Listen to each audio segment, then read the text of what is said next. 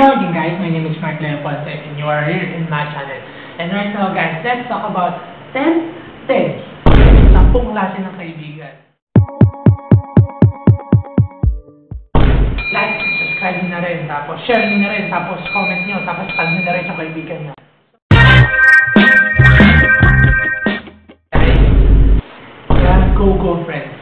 Tipo na pag inaya mo, go lang ng go. Pagka may outing, go lang ng go. Tapos may plano yung tropa, go lang ng go. So tara, labas tayo sa Sabado. G! Hello Ton, labas daw tayo ni Live sa Sabado. G! At pagdating ng Sabado, Tol, may lakad pala kami nila mami. Nauting din kami. Tapos, in the end, hindi sila sasama. Nine, the OTW friends. Yes guys, sila yung tipo na kaibigan mo nakakagising pa lang, tapos late na, tapos lagi nila sasabihin na, Nasaan ka na tol? OTW. Saan ka na? OTW.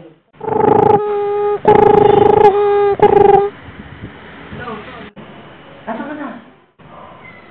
Sa OTW na ako, papunta na ako. after 30 minutes,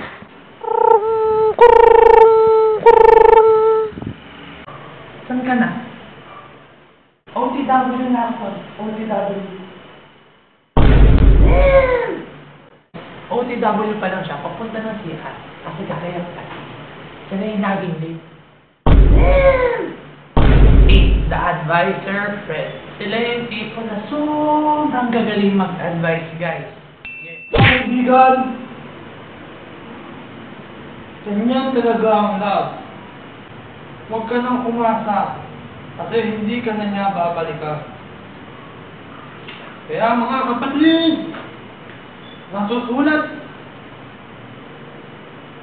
walang forever. Pero pagka tinanong mo kung may life sila, wala. The MMA friend. Sila yung tipo na pag tumatawa, tapos pagka nagulat, may kasunod. Yes, kasunod na hampas, kasunod na kurot, kasunod na sita. Ah, pagka tumatawa, may paghampas, may pag... Nakakatawa yung joke na. Mag-ingat kayo sa kanila. The MMA friend. Six. The ugly friend. Yes, guys. Tayo meron yan. Yung sila yung tipo na manya, in. Tapos, makikita mo na lang nasa sulok nanonood ng porn.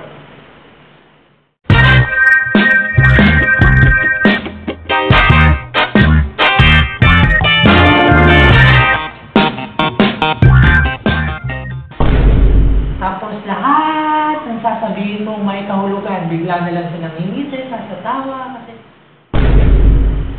Five, the my friend. Yes, guys. Ayoko sabihin na fuckboy. Kasi may fuck girl din.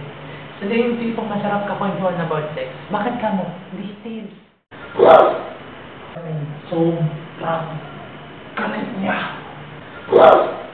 Sobrang flexible niya.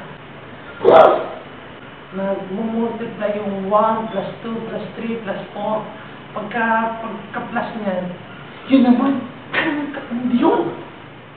Hindi sila makwento. Tapos mostly sila yung kiss and tell. Na, Tol, alam mo ba, ah, may nangyari sa amin ito.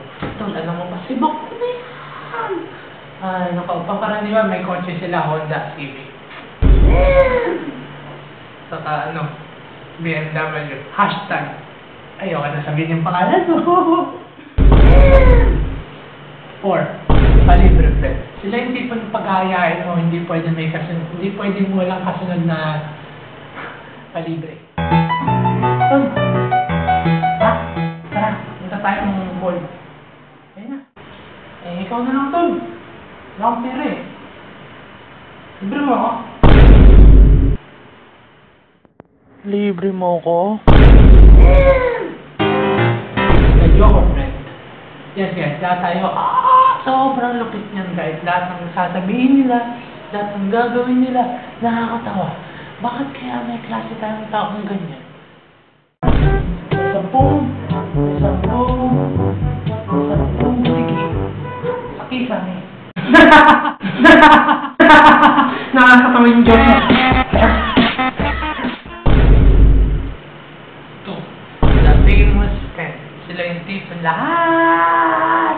na lang may selfie. Lahat na lang may picture.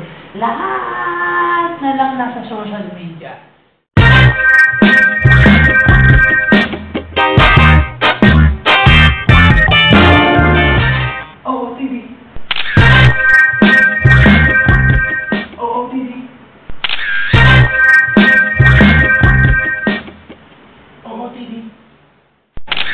Yun, the famous friend. Tapos may maya, selfie tayo, selfie tayo, selfie tayo. Mostly sila yung matagal din mag-ayos. Maghihintay ka ng is, ano, yung pag-ayos nila tomorrow na matatapos. Number one. And the number one is the best friend. Sila yung tipong kasundo mo sa lahat ng bagay. Lahat ng trip mo, kasundo mo sila. Lahat ng gagawin mo, kasundo mo sila. Parang sila yung nagiging salamin mo. Siya yung salamin mo. Kaya pagka nakakita ka ng ganyan, tapukin mo. Iba-iba ang ugali, pero gano'n na, mahalin mo. Pero, tapukan mo na. Ah. Hindi naman sinabi lahat naman yan true friend kasi kaibigan. Kasi ang fake friend, iba yun sa true friend. So lahat sila true friend. Kaya pagka nakakita ka ng ganyan, secured mo sila kasi balang araw, hanap hanapin mo sila. So yun lang, guys. By the way, my name is Marcel Ponce and you are here na rin. Tapos share nyo na rin. Tapos i-fan nyo na rin yung